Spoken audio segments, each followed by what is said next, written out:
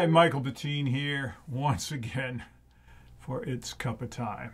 And today is sort of a part two to last week's Basic Recording 101 video. If you saw last week, you know, I took recording from setting up your recorder, recording your music, then taking that, putting it into your computer, editing it down to a finished WAV or MP3 file. But there's a lot more to it than just that. That was the actual recording part. But I want to talk today about accessories and sort of the behind the scenes, the things you need if you're going to record. Okay. And the fun part is this is the third try at making this video various problems on the first two tries, and it's like, okay, we get to do it one more time. So for people who think having a YouTube channel and making video is an easy thing, it isn't always. You know, I shot this whole video yesterday, and then I go to edit it, and it's just like, not, it's just not looking good. It's not happening. Blah blah blah. So I reshot the whole thing today. I had some technical problems and it's like, nope, that's not going to work. So here we are, a third time. Hopefully it's the charm. Okay, what are we going to do? We're going to record. First thing is, like last week, we have our recorder. Here's my little Zoom H1N, little handy recorder here. Now, you say, I want to record myself. Okay, I got this little recorder. What do I do with it?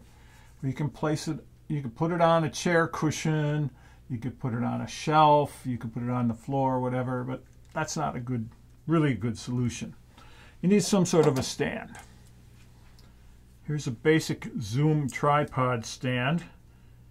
All of your recorders have threads in the bottom, a little mount, so you can just put it on here. Boom. It's a great little stand. Set it over here. You can put it on a shelf. You can put it on the floor if you had to. You can put it on a chair. You can put it on a case, whatever. But it's nice to have it on some sort of a stand. This is a little zoom stand. I think I have three of these because they're so handy. And the legs just fold up. I can stick this and the recorder in my pocket, in my bag, and I'm good to go for recording. The other nice thing on this is it has a little ball joint, so if when you set it, you can aim it however you want. But at its most basic, you want some sort of a stand. So you can find little small stands like this. There's various ones out there. If you look on an audio dealer's website, somebody like Sweetwater or B&H Photo or good old Amazon, you can find something like this. I'll put a link in the description to this particular one, which I said is a little zoom stand. It works on all recorders. It can work on cameras also. Great little unit. Like I said, if I just take it off here, fold it up, I mean, there's not much there. I take my little zoom, I put it in the case, and that's another thing. Have a case. If you're going to go out of your house, have a case. These cases are inexpensive. I've got cases for all my gear. Zoom makes cases for all their stuff, or you can get some third-party ones. But here we go. I'm set to record. I can go anywhere with this. I can put it in my coat pocket, my bag. You could put it in a purse. Doesn't take up a lot of room and you're set for field recording, live recording, whatever. So a stand of some sort. There you go. Another one would be to get a bigger stand. Something like this. You can put your recorder or microphones on. This is a stand by Hercules. Uh, I'm not sponsored by them. I don't get any money from them, but I really advocate for their stands. I think they're they're great stands. I've been using them for a number of years now because I got tired of having the cheap $20 bargain mic stands fail on me. and I've had plenty of them fail. And if you think about it, if you've got like a $500 recorder sitting on top of your stand, or a $500 mic, or a pair of $500 mics, $1,000 in mics, or more on your stand, you want to trust it to a $20 stand. And as you're playing, the boom doesn't want to stay up, and so it's like this and or it's doing this or the whole stand is going down or it tips over or something and there's your expensive gear smashed on the floor. No, you don't want that. So don't cheapen out on a mic stand. I mean, if you're just going to record at home, okay, you could get a $20 stand. But I recommend you buy a better quality stand. These Hercules stands usually run from about 80 to 100 bucks, somewhere in there. You can often find a deal. Well, let's just talk about this one. I really like it. Let's turn this around. One thing I like, it's got a big knob. It's just a single big knob, easy to turn, so I can adjust my boom arm however I want it. Stays in place. This one has a quick release clutch for going up and down, which is real nice. So I don't have to like twist anything to try to get it and then try to tighten it. It works out really well. You can see it goes up fairly high. I can get the boom up higher. Uh, another thing I like about these is their booms clip on. So I can take it off and now I have a straight stand. I can just pop a mic clip on here and I have a straight stand. Or for transport, where can I put this? put this here carefully. Transport, you know, I can just collapse this, fold up the legs and everything, and this fits in a case much easier. So I really like a lot of the design features Hercules has come up with. Put this back on, flip the lever, I'm in business with a boom stand. So this is great. Another one I like is a little heavier duty stand, a little bigger tubing. It still has that quick release clutch. And if you notice, it's a straight stand. Lower it a little here. So if I loosen this up, I can pull the arm all the way up.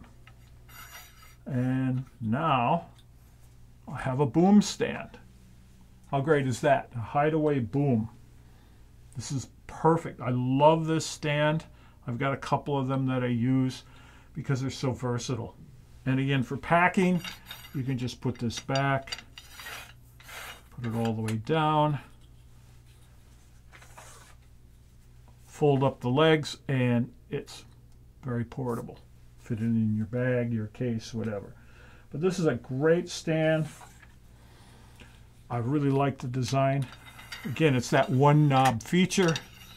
So I'm not sponsored by Hercules, but I will have links down below to these particular stands.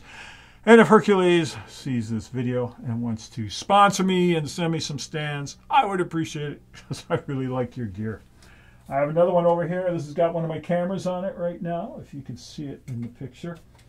So they're great. Again, do not buy the cheapest stand out there.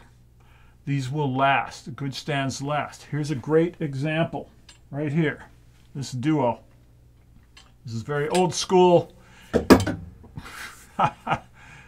got the cast iron base I believe this is a Shure stand, and this is an AKG boom. And I got these in about 1975. So they're almost 50 years old. And they still work. Boom still works. So if you buy quality gear, it's going to last. So I don't take this out, but I use it here in the studio for things when I need an extra stand. So there you go whatever you buy, any gear, I don't care what it is, don't buy the cheapest thing out there unless that's all you can afford because a couple of things. The cheaper things tend to fail easier and don't last, and then you're just going to end up buying the better one.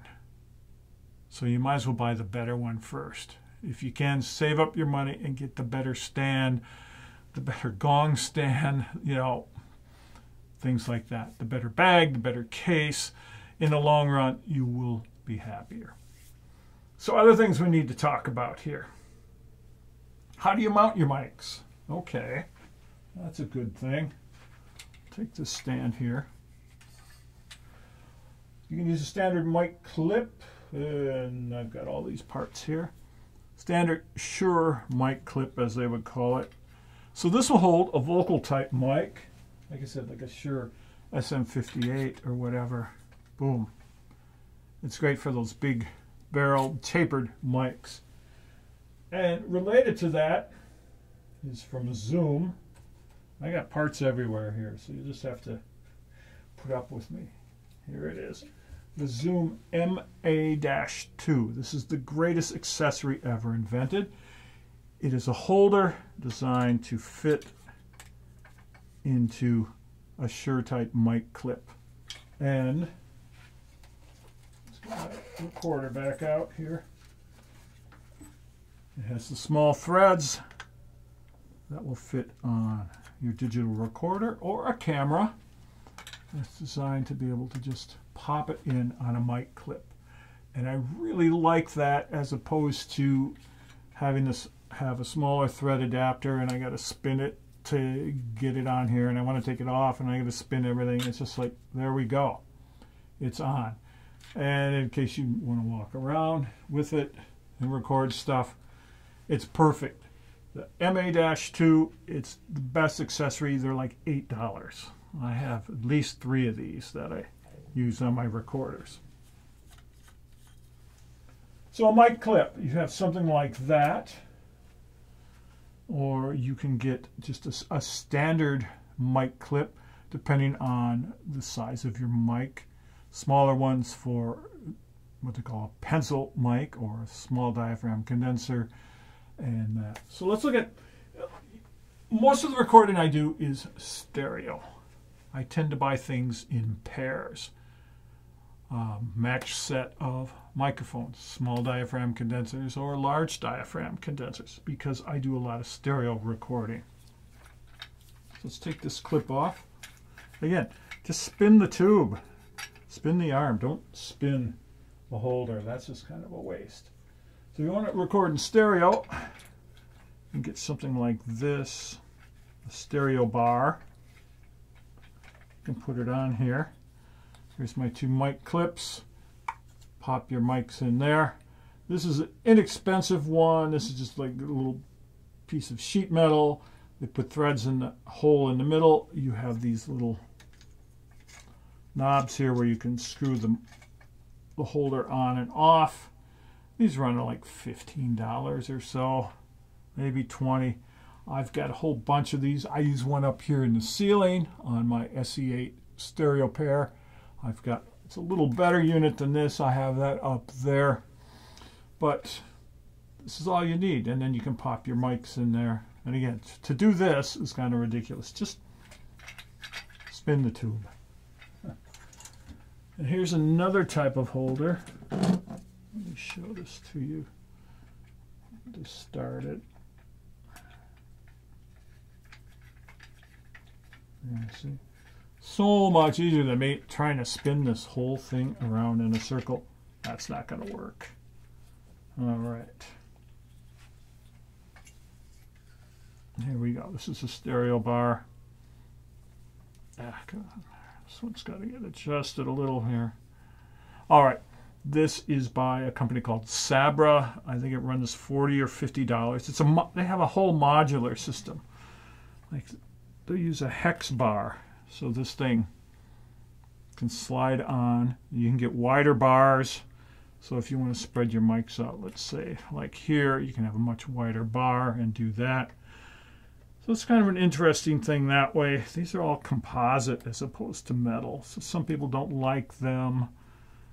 Uh, I find it works well. So I have some different attachments for this. This can go side to side. Spin it around, have it in the center. But here we go. Stereo miking. This is a little off. Got bumped here. This is, should be more like that. This is an NOS, which is a wider array. I like recording that way in order to get a little wider sound field as opposed to, let's pop this up, as opposed to the standard XY where they're just crossed over at the capsules. I think that gets a little narrower. I like a, a wider field. But here's a stereo bar. Another example, if you buy, like I said, buy a pair of mics. Here's my SE 4400s. I'm going to move this out of the way here. And it comes in a nice case. I've got the, the two mics, I've got the two mounts, and it comes with a really nice stereo bar. If you notice, it's much longer, and it has these slots. So you can really vary where the mics are. I like this one a lot. It's it's really heavy duty metal. It's it's well built. This will last forever. It'll outlast me. So you can do this for stereo miking. And what's nice with this, if you're using a shock mount, and we will talk about those in a second, this gives you more room to attach your mics. But it's great. And like I said, many pairs of mics, if you buy a match set, a stereo pair, they will come with a stereo bar.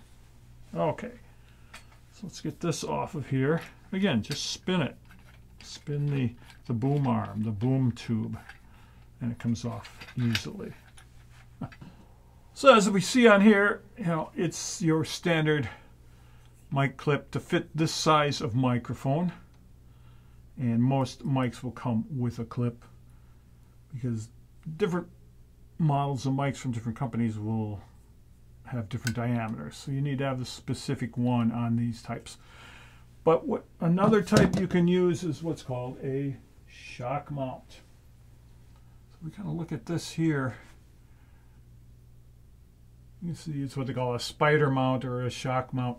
They are elastic cords in here, and the center is isolated from the outer frame. Let's pop it on here real quick.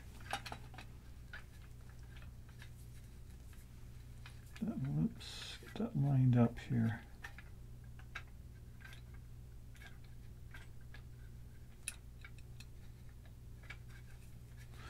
And that's an important thing is make sure your threads are lined up correctly so you don't cross thread them and wreck it because then, then you're in, in trouble. Okay, so the shock mount just goes on like that. We take the microphone, we just open it up, pop our mic in there, and there it is. Perfect. Nice easy mount there. And the idea with this is it moves some. So it, if the stand gets bumped or the cord gets bumped, that it should isolate the microphone and you don't get the noise, or at least reduces the noise. The shock mounts come in different types. This is pretty much your standard one here, like this. And like I said on the SE8s, they come in one they sit in it more. Let's pop one out real quick. And this one, these mics don't come with a clip, although you could get a clip that they will fit on. Goes in here. Tighten this up. and then this part will go onto your mic stand and there you go will hold your mic so there's different types of suspension mounts like this and a lot just depends on the type of microphone you have but that's one option uh, when I record live I usually don't use any of these because a couple of reasons. One, they're a bit of a pain. It takes more time to set up.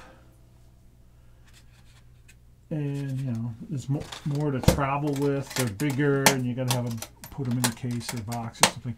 So they're kind of a pain. Or it's just a regular mic clip like this is so easy. It's small. With this, I just, I leave this set up like this. pop the mic up. I travel like this. I just leave it this way, all set and ready to go. If I had any of these on there, I would I would have to take them off. I wouldn't want to travel like that. But this, I just leave it. I put this on my stand, get my mics out, snap them in there. I'm good to go. So it's it's much quicker that way. But suspension mounts are, are great. I mean, they, they do their job. I will use them here in the studio sometimes if I'm recording or like with the 4400s that's the mount they come with so I have to use that I haven't purchased any different mounts it was last year I think. I was playing at one of my favorite venues. Really uh, it's a nice sounding room and also it's a very nice looking room. So I had planned to videotape this session because I knew I could get like a really great video and audio out of that.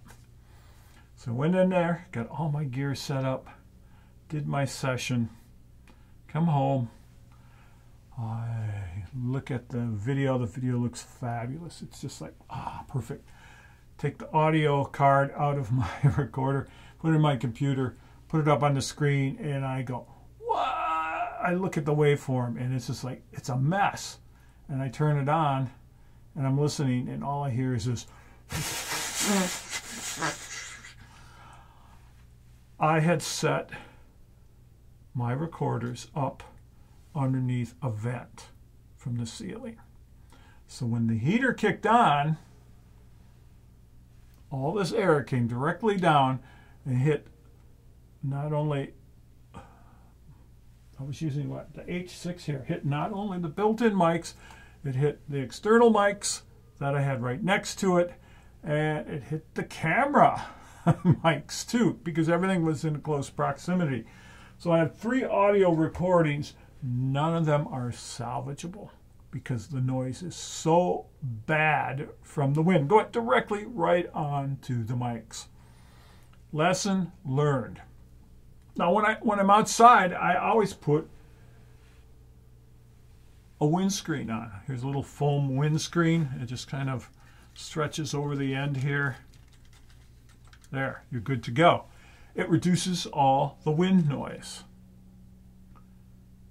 And this is great. So when I'm outside doing field recordings, I usually will have a windscreen with me. But inside, I didn't think of it. I hadn't been in that venue in a long time. When I'm setting up, I, you know, I'm busy. I'm not paying attention to the airflow and all that. And when I started, it was fine. But then about 10 minutes in, that heater kicked in and the air started blowing and it hit the mics. It, it, it totally ruined it. I have the most beautiful video and no audio I can use with it other than some snippets when the heater wasn't on. So a windscreen, they'll often come with your recorder or you can buy them and it's worth like five or ten bucks to get one of these. And now when I record indoors, I always do two things. I check for the vents to make sure you know I'm not in proximity and sometimes you can't help it. It's the only place you can set up. But I always use a windscreen indoors too now, just because of that. So here's my H6, my zoom here. Let's put it up here. And I've got a, a nice foam that'll go on here like this. Again, you just stretch it over. Boom. We're good to go. We can record. And you can here you can see that against the gong here and it's great. If I'd and I even had this with me. If I would have taken two minutes to pop it on, you would have seen that video on YouTube already because it was such a nice video. Another type you can use is this, this fuzzy guy here. This is what they commonly refer to as a dead cat windscreen because it kind of looks like a dead cat. It's like a mesh inside We've got this fake fur on it, and it does the same thing. See, let me loosen it up here a little. And you just stretch it over, tighten it down so it doesn't fall off, and boom, there you go. Now you may have seen something like this if you've watched documentaries or maybe in the news or you know photographs of people filming uh, shows or you know especially outdoor they might have a boom mic guy's got a pole and he's got a mic at the end of the pole and he's holding it over the people who are talking and it's got a dead cat windscreen on it so you've probably seen some sort of screen like this it works great so if you're outside or even inside, I recommend, you know, getting a windscreen. Like foam ones, five, ten, twenty dollars. Dead cats, fifteen to fifty dollars or whatever, depending on what type of recorder you're putting it on. Let's say this is my stereo mics here. I use this sort of a bar. This is just a, a side bar. I've got a, a standard Shure type clip on it. And this will just attach. This open enough. It will attach to my mic stand. So when I'm doing my stereo recording, I'll have my mics up here on the stereo bar and I will put my recorder, whichever one I'm using, on the side here. Run my cords into here. There we go. There's my double setup on one stand.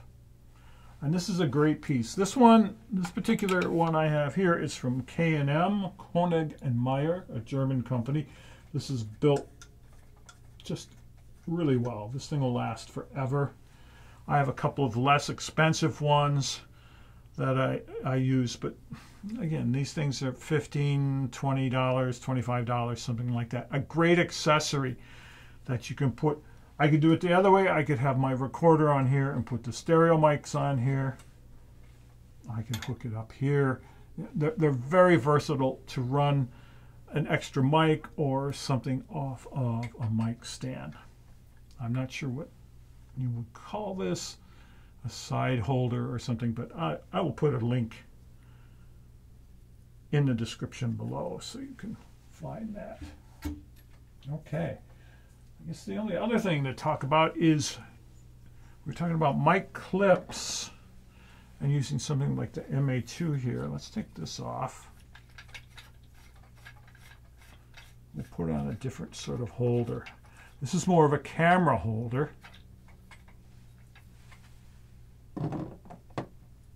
But it works on all of your standard digital recorders because they have the same sort of mount on the bottom.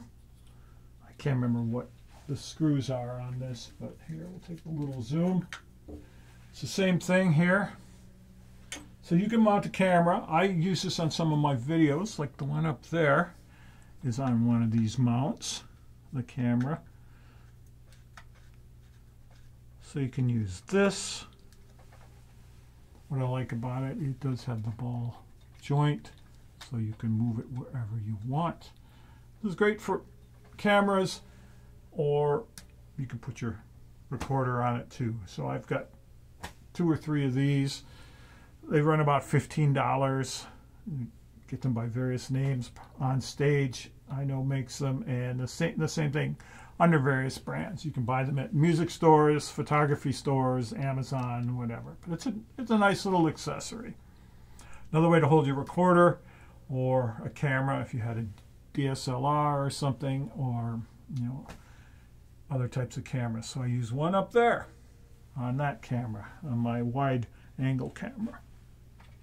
So there we go, just you know, basic accessories. I think I covered pretty much everything here just to make your job easier. And, you know, you just need more than to have a recorder and just plop it on a chair cushion. Like I said, just get the basic, basic little desk stand. There's all types of them out there. And it works fine. Then you can put it with some stability on the floor, on a chair, on a shelf, or like here, I've got a case sitting there. You're good to go. So I hope that helped give you some ideas on you know other things that you'll need. I could talk about cords. I mean, you, you do need mic cords. Ah, chords. What a fun sort of thing to talk about because uh, it's funny. I used to work at a very high end stereo store and we sold tons of super, super expensive cable. And we pushed it because it made a lot of money. It had the highest profit margin. And it's like, you don't have to buy the most expensive mic cords out there. You don't want to buy the cheapest ones because what, what happens is a lot of those, they just kind of have funky connectors that don't plug in right and uh, that. But, you know, decent cords. $25 for a cord for like a, a 15 or 25 foot cord will work. I mean, you're not a touring show. You're not Taylor Swift playing 180 dates around the world, and that stuff is just getting used all the time and in and out of trucks and all that. No, you know, you're doing a few gigs here and there, and you're recording yourself. The the ones I use when I put my stereo mics up here, I've got a, a pair of five foot cords because the mics aren't going to be that far from the recorder and I don't want cords hanging everywhere. I bought a pair of five foot cords. I think it was $20 for the pair. I've had them probably five years now and I've used them for hundreds of gigs and recording sessions and they're fine and they still work well. So cords. Yeah. Buy decent mic cords. Don't buy the cheapest again, like a mic stand. Don't buy the cheapest. Don't ever buy the cheapest anything if you can help it. Buy a, a better quality. But you don't need to buy a hundred dollar mic cords. Uh, that's overkill for what we're doing and who we are. I guess the final thing was uh, let's talk about power. That's that's kind of an important thing. Power up your gear. Four AA batteries. If you're running your built-in mics and you're running two external phantom powered mics, it can eat up four AA batteries fairly quickly. The little zoom over here, this is two AA's. It just has built-in mics. Um, you can go forever on those two batteries. It's amazing. It, it will go forever. So that's not such a big problem with this one, but something like this, or my Tascam because it has a, a touch screen, which eats up even more power I mean, you're going to go through batteries. What I always use is your standard battery pack, recharge pack, like you would use for a phone or something. The nice thing about all these recorders is they can be powered through USB, so you can plug it into um, your computer and run it from there, or use a battery pack. This will last weeks, if not months, depending on how much recording you're doing and how big the pack is. I have probably six or seven of these, and I just change them out every now and then. They all have a little meter. Like you can see, this is down to one. So uh, I will probably pull this and charge it right after I film here, and then it'll be good to go. One thing I've done on all of these is I've put fuzzy Velcro on the back and on my stands, I have the prickly side of the Velcro. So I can just stick my power pack on there, and there it is. There we go. There's my basic setup. Recorder, battery pack, mic stand. There we go. It works well. And I can go hours and hours, days and days on a battery pack. And it's easy too. If you need to, you can just, you know, swap it out plug another one in, bang, you're good to go. The Velcro has been a lifesaver, and that was another lesson hard learned. I was playing a festival and I was recording all my performances, and I had I wasn't using Velcro then, and I wasn't my mic stand either, so that didn't help. But I kind of had it hanging on there and somebody must have bumped it or else gravity did it and it pulled the cord out just enough that the recorder stopped because it had no power and this great performance I got no recording of because of that so like I said another lesson learned the hard way and that's like I don't want this to happen again so I came up with the velcro idea I use Velcro for a lot of stuff. I mean, you can buy it by six inch strips, you can buy little dots. I usually buy the big roll, like 15 feet or 20 feet of Velcro in a box because I use it for so many things. It works, you know, really well. And yeah, so Velcro your battery packs to your stand. It's perfect. So thanks for watching. I hope you got some good ideas out of this two-part series here, and it will make your recording journey easier. So please, any comments or questions, put them down below. I always read the comments and I always try to answer the questions. That's important to me. And also, if you do some recordings, if you want to pop a link to your recording down there, I'd like to listen to it. If you have any problems, let me know. I'll try to help out. Maybe I'll make another video if people have the same sort of problems, or I can just type something in there if it's easy enough. But thanks for watching. Have fun recording, and we will see you next It's Cup of Time.